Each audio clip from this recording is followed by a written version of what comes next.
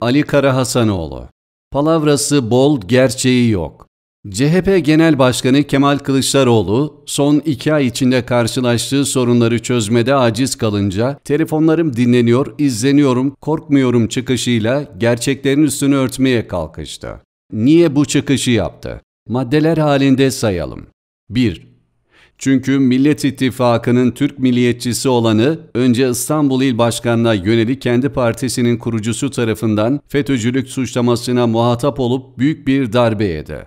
FETÖ'cü iddiasına muhatap olan ve yönetim tarafından da korunan bir il başkanına sahip ortak CHP için ciddi bir sorunken daha büyük ve ittifakın diğer ortaklarıyla gizli ortağını da ilgilendiren bir sorun daha çıktı.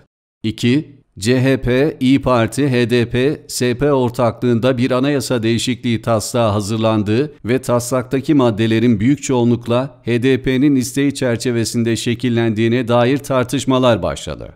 Bu tartışmada şeffaf şekilde açıklığa kavuşturulamadı.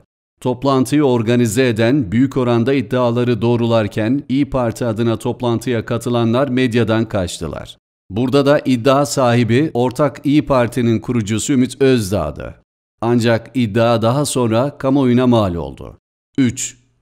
İlk iki konu çözüme kavuşmamışken CHP milletvekili Ali Mahir Başarır'ın TSK için kullandığı satılmış hakareti gündeme oturdu.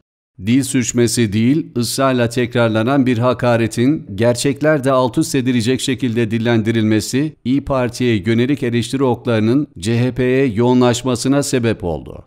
Buna karşı da yeterli bir savunma geliştiremediler.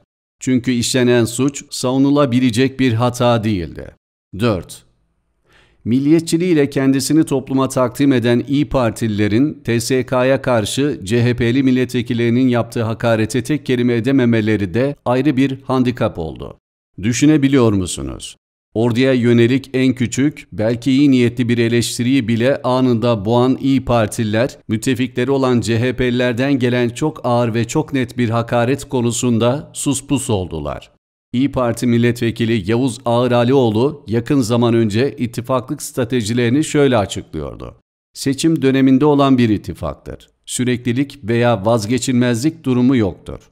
Bu sözler doğruysa seçim geçti, şu an itibarıyla süreklilik arz eden ve vazgeçilmez olmayan bir CHP-İyi Parti ilişkisi söz konusuysa bundan daha vahim ne olabilir ki? İyi Partililer CHP'li milletvekili hakkında iki satır laf edemiyorlar. İyi Partilileri suskun kalmaları için CHP'nin verdiği çaba Kılıçdaroğlu'nu bir çıkmaza daha sokmuş oldu. 5.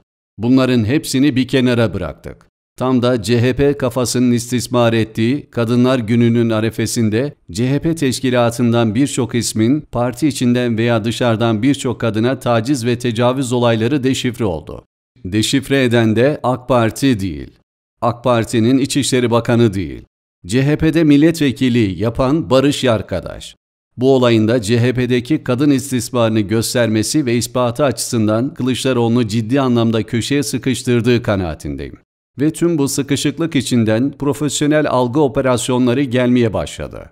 Önce Ekrem İmamoğlu durduk yerden hemen her gün onlarca insana emniyetin yaptığı güvenlik açısından tedbirli olun uyarısını adeta sadece kendisine yönelik bir saldırı ihtimali varmış gibi göstererek kamuoyunda gündem yapmaya kalkışması. Bu atağın CHP ve Millet İttifakı özelindeki eleştirileri bastırmaya yetmemesi karşısında Kemal Kılıçdaroğlu sahneye çıkıp telefonlarım dinleniyor, izleniyorum, korkmuyorum açıklaması dört dörtlük bir köşeye sıkışmışlıktan kurtulma operasyonudur. İşe bakınız. Biz bu ülkede gerçekten telefonu dinlenen isimler gördük. Takip edilen, odasına kameralar konulan, dinleme cihazları konulan devlet yetkilileri gördük. Ama bunların hemen tamamı FETÖ'cü çıktı. AK Parti iktidarının kendisine bağlı kadrolarının illegal dinleme veya izleme noktasında bir tane sabıkalı ismini ne CHP'liler gösterebilir ne de bir başkası.